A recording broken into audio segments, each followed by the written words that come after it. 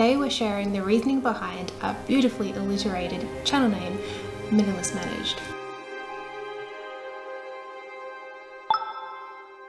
Any of our fellow Harry Potter nerds will remember the phrase mischief managed. It's the magical incantation used to wipe the Marauders map clear. Josh and I have found that simplifying our lives through minimalism has enriched our lives in a somewhat magical way. We've been able to save time, money, and prioritise the things in life that bring us the most meaning. Through the magic of minimalism, we've been able to intentionally and purposefully create our lives into what matters most to us. We've freed up valuable time to spend with loved ones and do the things that we love the most. We've learned how to do more with less and enjoy the freedom and magic that comes with a clutter free life. For us, minimalism has never just been about decluttering physical things. It's about strategically thinking what matters most in life. From the particular people that we surround ourselves with, to the things that we spend our time doing over and over again.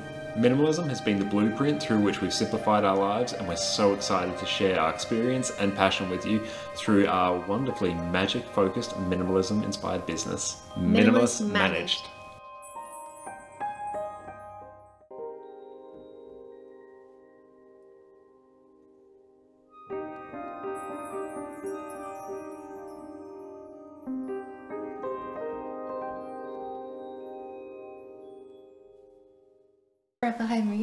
We cannot forget about the pickles. Mm.